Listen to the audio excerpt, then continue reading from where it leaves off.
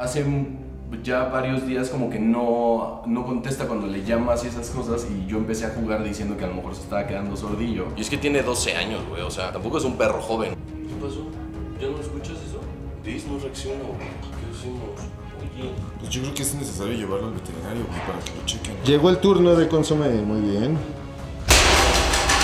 Debe tener algún grado de, de sordera. Vamos a tratar de, de identificar si realmente se trata de una sordera, un tumor, por ejemplo, puede estar obstruyendo el canal auditivo. Son de esas cosas que, te, que no te quieres enfrentar, que sabes que siempre van a crecer y se van a hacer viejitos, no lo quieres aceptar, no sabes cómo me, así, de pronto me da como darte cuenta que ya no te voltea a ver porque le hablas o algo así, está súper. Empieza a aparecer un color rojizo y posiblemente tenga una herida en el fondo. Nadie te prepara nunca para la muerte porque sabes que es un ciclo de la vida, pero neta no me imagino un día sin Conce. Se está quedando sordo ya. Ay, sí sabía, sí. Pero ya lo llevamos al doctor. ¿Qué dijo? Pues que sí, se va a quedar sordo seguramente pronto y aparte tiene. Oigan, pues llegamos a la casa después de que acompañé a Diego al veterinario y la neta es que está súper estresado y creo que es momento de que yo le ayude con algo.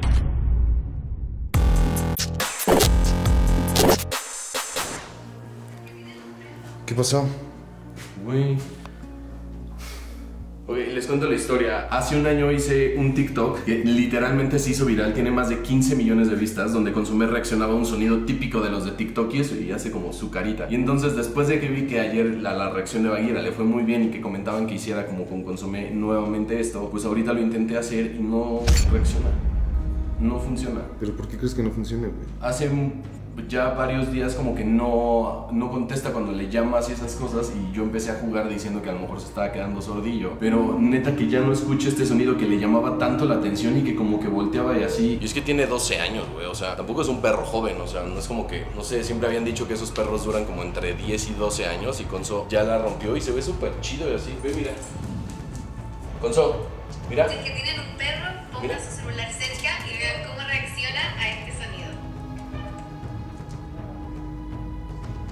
pasó? ¿Ya no escuchas eso? Liz no reacciona, güey. ¿Qué hacemos?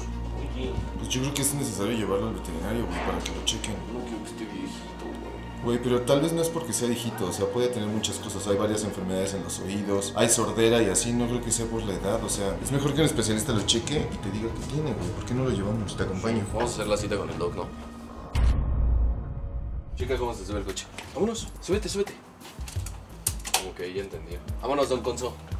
Como que no escucha por dónde va y entonces él se va moviendo a donde quiere y antes iba como siempre al lado de ti. Hola. ¿cómo estás? Muy bien, ¿ustedes? Todo bien, muchas gracias. Dame un segundo, la doctor. Muchas, muchas gracias. Es la primera en salir, véanla, por eso sale feliz. Y ahora ve este brother. Está como nervioso, ¿no? Súper nervioso. Llegó el turno de consomé, muy bien. Primero platíquenme de qué se trata, qué es lo que vamos a hacer. Lo que me llama la atención y por lo que venimos el día de hoy, estábamos haciendo un video de TikTok donde le pones un sonido y el perro voltea luego, luego y les llama la atención. Tengo un video del año pasado él y reacciona durísimo. En la mañana hice uno y no reacciona nada y como que me vino a la mente todo lo que ha sucedido estos días, que ya tiene como unos meses, donde yo decía, o no me hace caso y le valgo o está dejando de oír y pues hoy sí ya me doy cuenta que por lo menos no escucho el sonido. Y cuando le hablo o algo ya no es como antes que es muy muy, muy obediente. Antes se hubiera mega asustado por eso. Su ladrido cada vez es mucho más fuerte el sonido que hace. Antes no ladraba nada y ahora ladra un montón por ejemplo y ladra muy fuerte. A mí me pasa que cuando lo trato de buscar, con un aplauso ya voltea. Y obviamente la vista se identifica y bien y todo.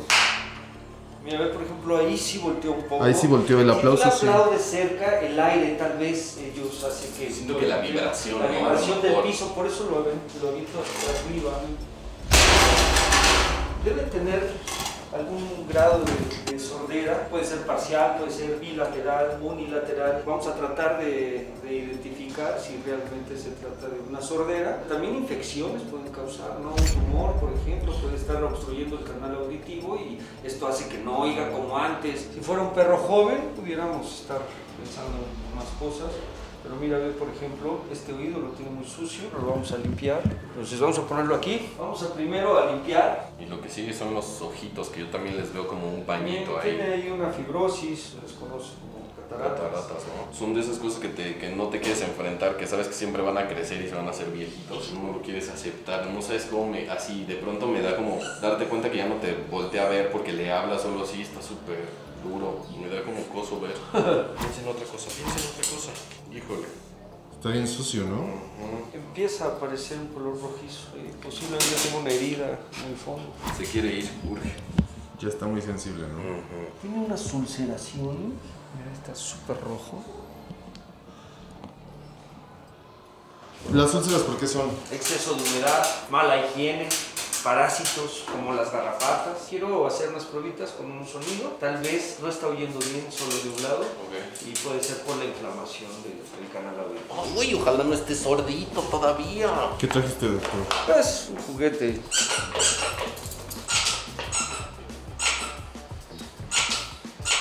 Pues entonces tu perro si oye, puede ser que haya bajado un poco su, Nivel. su nivel de audición, pero esto puede ser por la edad. Hay que darle un tratamiento, hay que darle un antibiótico por vía sistémica para evitar cualquier infección y un medicamento eh, Directamente. directamente. Y aquí viene un oftalmólogo, ¿me puede recomendar a alguien para Te llevarlo puedo re- ojos? recomendar un oftalmólogo, es una doctora muy buena y este, ahorita te doy los datos. Me gustaría que lo llevaran y bueno, si se puede hacer algo, pues ellos te lo dirán. Pues la próxima vez que lo traigamos a revisión de los oídos, yo creo que le hacemos Sí, me gustaría que vinieran en ocho días para revisarlo, volver y pues darle seguimiento a todo esto. Va, pues así le hacemos. Ya salimos. Y aunque la noticia es un poco alentadora porque se puede recuperar ese pedazo de audición que seguramente está perdiendo, pues al final ya está viejito y va a empezar a tener este tipo de problemas. Así es que creo que las visitas al veterinario a partir de ahora serán un poco más seguidas, don Conso. Un placer. Gracias por todo.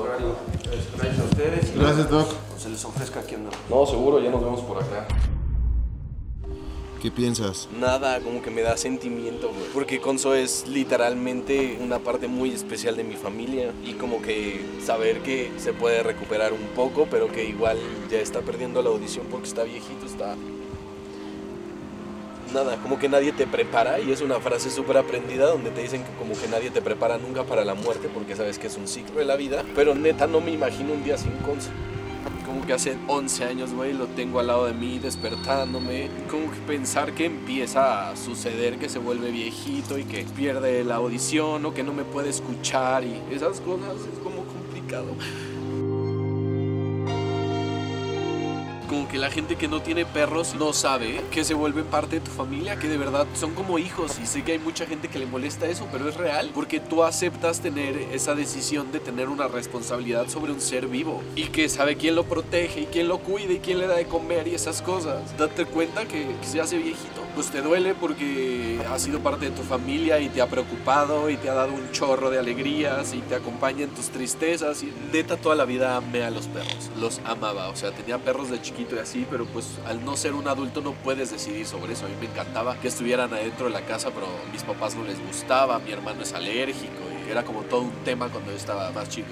Y desde que yo quise adoptar un perro, primero uno se murió de moquillo y duró poquito. Tú lo conociste, ¿te acuerdas? Ah, A Jacinta. Jacinta. Claro. Luego hubo uno que fue Tenoria, que también tenía moquillo y parvovirus y la intenté salvar y no se pudo. Y a partir de ahí dije, no voy a comprar un perro. Entendí el sistema de adopción y lo importante que es en un país como México y en todo el mundo, que no se debe de vender perros, lo que debes de hacer es cuidarlos y amarlos realmente y, y tratar de acabar con eso, que haya perros en la calle y que estén desamparados. Y fue la mejor cosa que pude haber hecho posible. Yo nunca había tenido un perro tanto tiempo, pero cuando te das cuenta del amor y la conexión que puede haber, pues a mí me pasó que me moría de ganas por tener a un ser de ese tamaño. Te conectas de una manera muy especial, das todo por esos animalitos y lo mejor es que ellos te dan todo también, ellos te dan todo el amor del mundo. Ya sé que estás viejito y ya sé que ya no reaccionas al pau porque no me oyes tanto, pero yo te amo.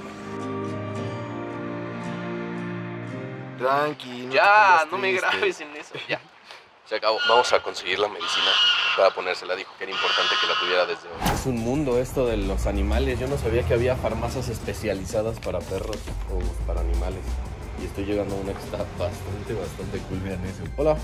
¿Podría pedir estas? Oye, ¿de qué son los helados para perro? Son hechos a base de arroz y son con ingredientes naturales, no tienen azúcar refinadas ni nada. Pues están increíbles.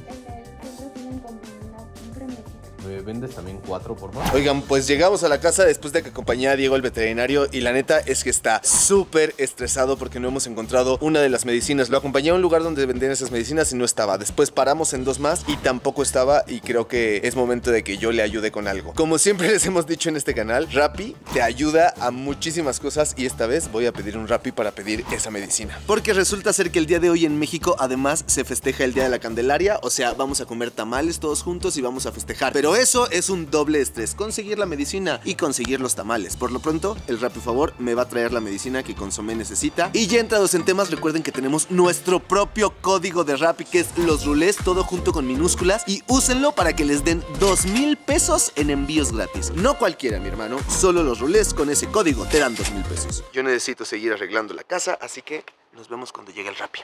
Miren lo que acaba de llegar, llegó la medicina con el Rappi. Diego, mira. ¿Ya te oí? ¿Neta? Sí, güey.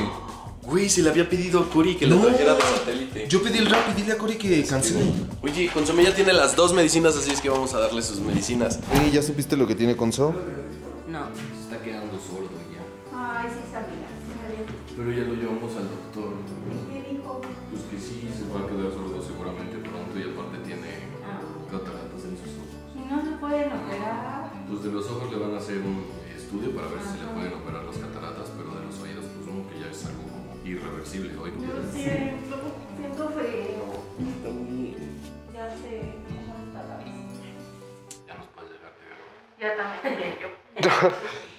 Ya está llorando también. ¿Te acuerdas cuando lo conociste, Gabo?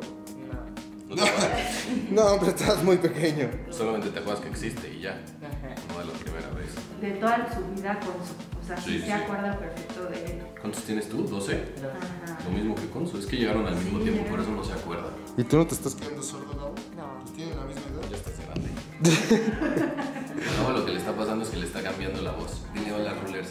Hola, rulers. Yo soy Gabriel. Hola, rulers. Hola, rulers. ¡Ay, güey! ¿Te está cambiando la voz mucho? Nah, no mucho, ni tanto, ¿eh? No, ¿cómo? Güey, habla súper diferente, Gabo. Yo digo tu abuelita. Voy por mi abuela.